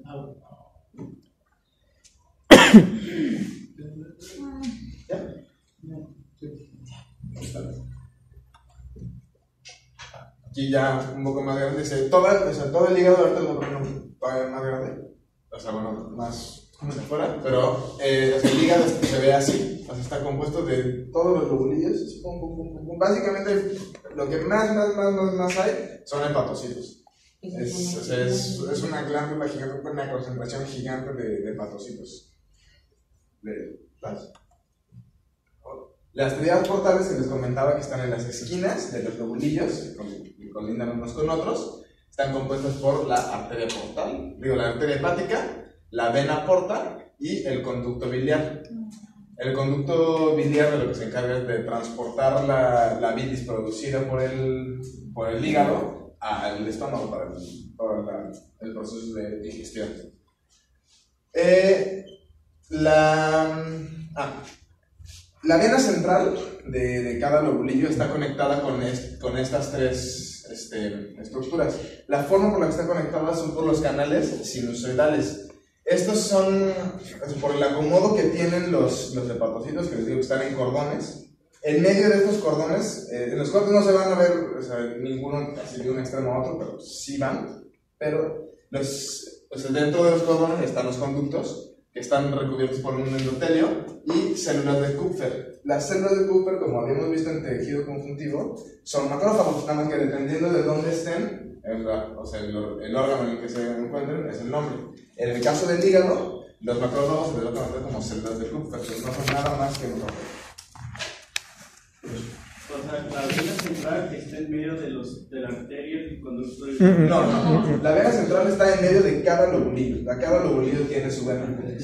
Y en las esquinas de cada lobulillo. A ver, le regreso, por favor.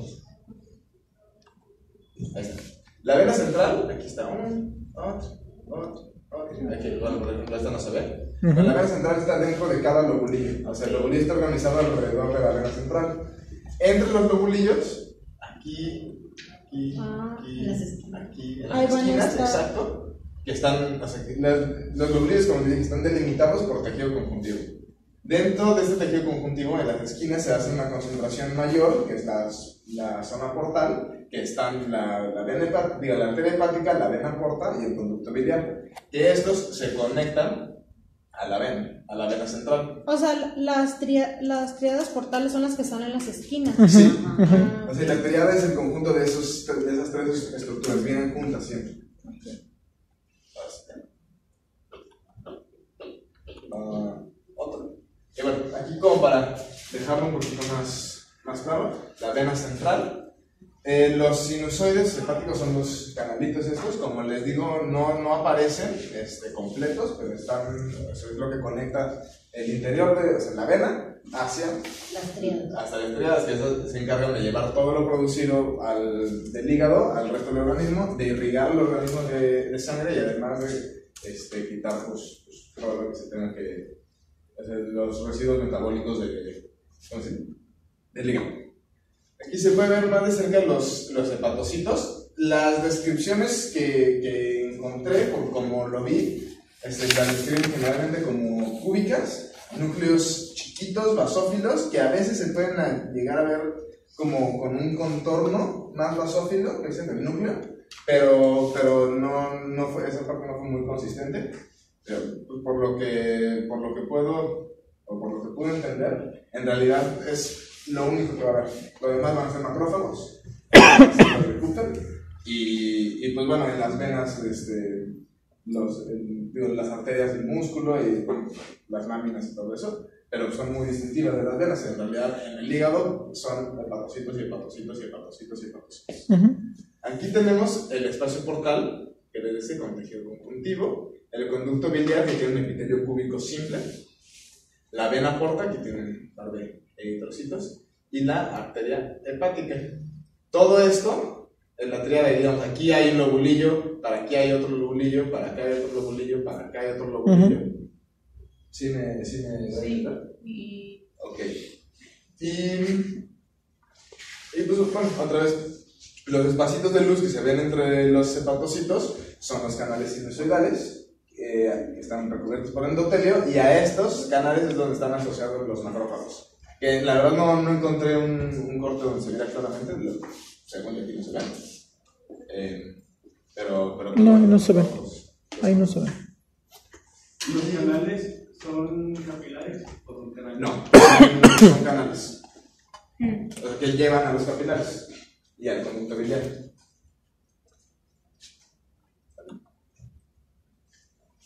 Otra vez, aquí se ven un poquito más, más claro, como parten de la vena central y salen hacia el exterior.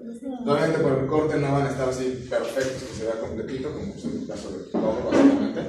Pero, pero bueno, esto me pareció que dejaba muy claro cómo parten de la vena central para irse hacia las triadas. Ese Es al, es- el- es al revés.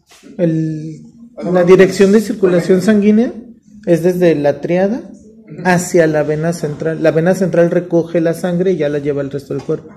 Y por lo que entendí, lo que hace es que el- la bilis producida por los hepatocitos es así, tiene la dirección. Esa va en dirección contraria. al conducto biliar. Ajá. Y. Ya, vez, como, como resumen general de- del hígado, tenemos los lobulillos hepáticos. Cuando se van aquí, sienten regular la vena central, los conductillos, ah, no, o sea, los conductillos sinusoidales.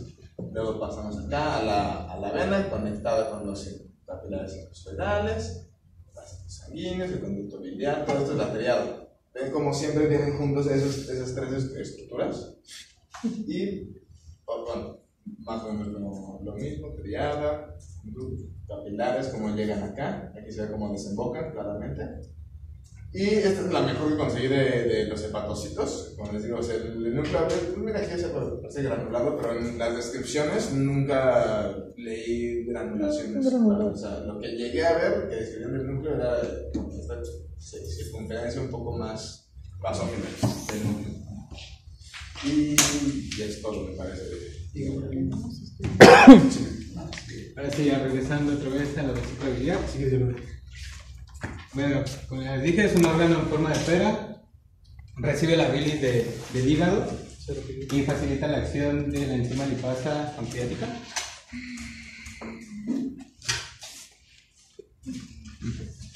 No, tiene que ser con el. Sí, Ah, ya. Ah.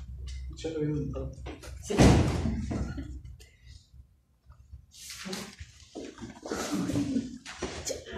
Bueno, se compone de una este, zona mucosa.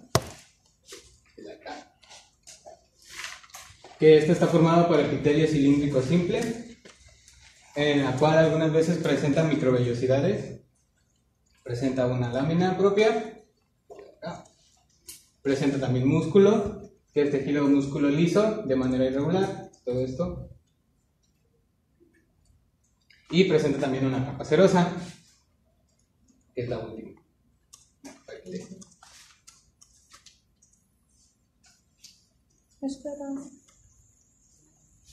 ¿Eso está formado por. ¿La aquí está formada por conjuntivo y al final hay, hay epitelio. Ya no sé. Ahí se ve.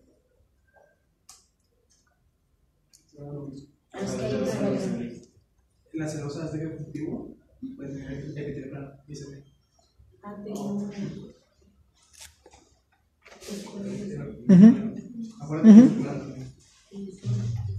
La cosa del centro y la de la. Espera, espera. Es- Sí, que son las características. Sí, pero aquí no hay sub. Ajá. ¿Sigue? De aquí hay una foto grande de, de las capas de la mucosa. Y la serosa. Igual hay muscular longitudinal y Mm, mm. no solo hay muscular. Por eso decía irregular en el- en la otra diapositiva. No. Disculpa, ¿sabes por qué no presenta su glucosa? O sea, en sí el, el órgano. No. Tenemos a... Por la Pues realmente no, no leí nada acerca de eso. No hay un porqué de las cosas. No la presenta. Sigue. Ah, aquí está más grande, las capas. Simple.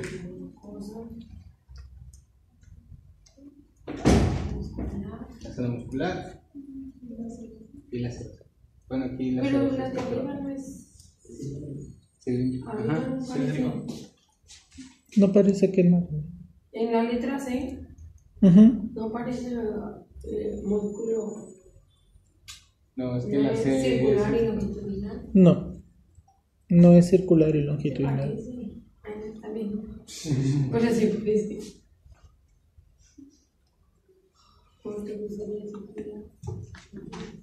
Bueno, el páncreas es una glándula que está compuesta por dos partes. Una parte en- endocrina que secreta hormonas. Una parte exócrina que secreta enzimas digestivas y esto lo hace el, el órgano más importante para el sistema digestivo. Ah, también secreta un líquido contenido en bicarbonato que esto este, eh, es vertido al intestino delgado para la este, neutralización de los ácidos.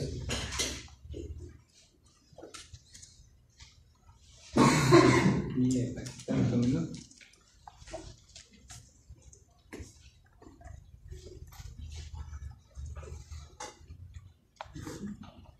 Ay, ¿Me puedes regresar más?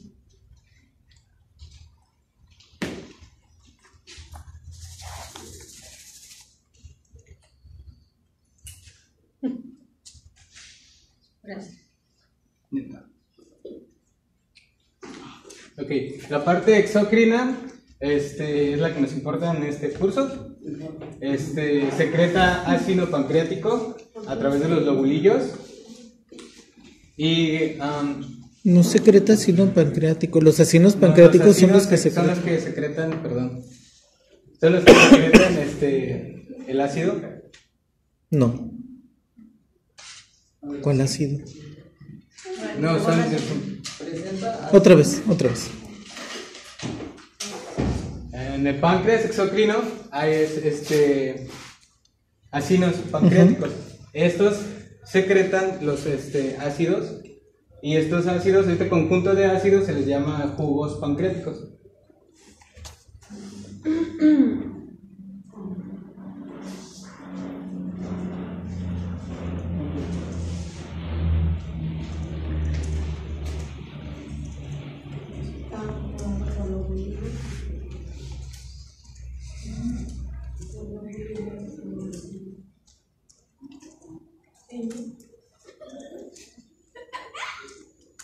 No sé qué estás O sea, leyendo, María. eh, el pa- o sea, es el corte de páncreas, ¿me puedes revisar, por favor?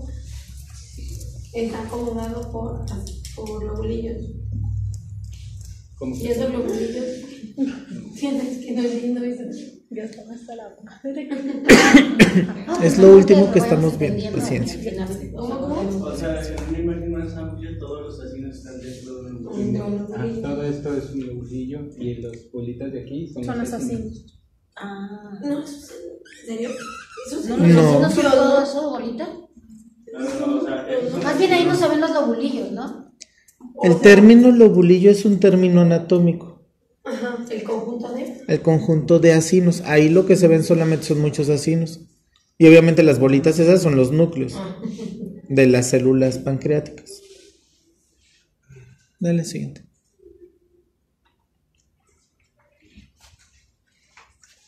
Los acinos pancreáticos son células en formas de piramidal, como esta. Las células pancreáticas. Células pancreáticas. Células pancreáticas. Presentan un núcleo redondo, basal, con citoplasma basículo, con un alto contenido en retículo endoplasmático.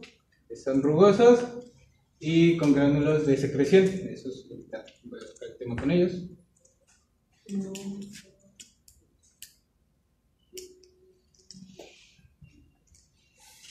¿Se van a ver los gránulos?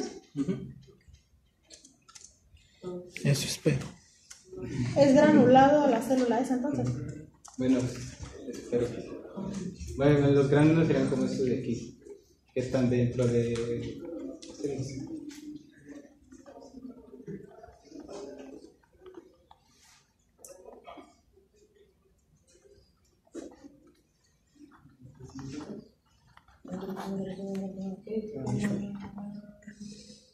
Bueno, aquí se ve una foto, bueno, una imagen, perdón, de los.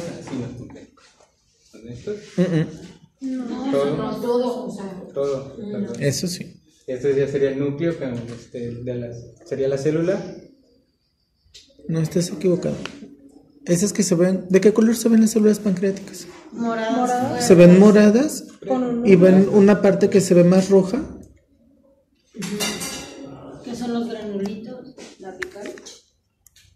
Estas son las células pancreáticas.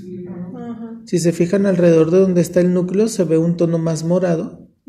Y en esta parte, arriba del núcleo, en esta porción, se ven unos gránulos rojos. Esos son los gránulos que está tratando de explicar Miguel, estos. Pero tienen doble color, o sea, tienen una parte basal basófila y una parte apical más eosinófila, más, más rojiza.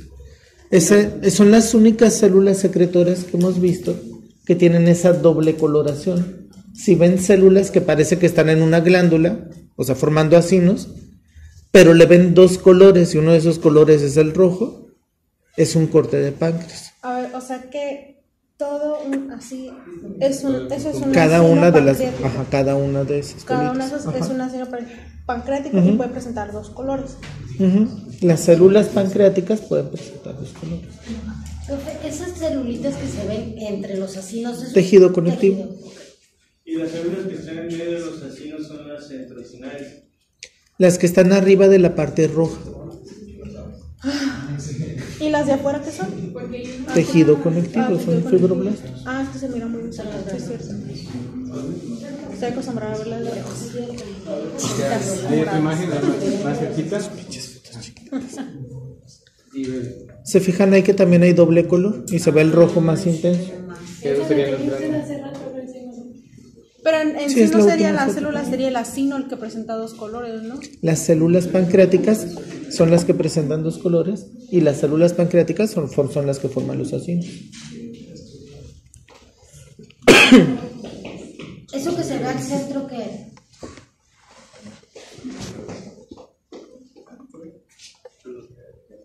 Ajá. Ajá, Todo, eso, todo, todo, todo. Todo lo que se ve más blanquito. ¿Qué es? Todo, todo, todo, todo, todo. O sea, ese círculo. Ajá. ¿Tiene nombre eso? No, porque acá acinos. de. Laguna de algo de. ¿No? Se llaman islotes de Langerhans. Ah, esos son los círculos. Islote de Langerhans es la parte que secreta las hormonas de la porción endocrina del páncreas. ¿Cuál es el islote? ¿Lo del medio? Todos. Ahorita no nos importa. Ajá. Entonces vamos al islote de Heisen. Langerhans lo vamos a ver cuando expongan endocrino. Entonces, la, Ahorita no nos importa. la característica del páncreas eh, son los, los granulitos. Los gránulos rojizos que tienen las células pancreáticas. Y que se van a ver de dos colores. Salen de dos colores. Que es el único lugar donde se ven así. Dale. Y ya por último, los gránulos de. los gránulos fimógenos son los que decía el profesor, los del color más rosita, como se ven aquí. y estos gránulos eh, se pa- producen por enzimas como la tripso, tripsógeno, pepsinógeno y pro, que, des- de- que desgrada, de- des- degrada. las proteínas, la amilasa que degrada este, carbohidratos y pasa que degrada los lípidos y desoxirribonucleosa ni- nucleosa y ribonucleosa ribonucleasa que degrada los ácidos nucleicos. Siguiente son palabras muy complicadas para mí. Y pues son como los que ya había visto en la otra imagen. Aquí no se alcanzan a ver, que son los moraditos. Voy a restar, vean. Que son como los que estaban aquí, estos de color rojito. ¿Qué es la diferencia entre esos y los acinas pancreáticos? Es lo que está explicando. Lo- los gránulos, los gránulos imógenos es el nombre de los gránulos rojos que se ven ahí.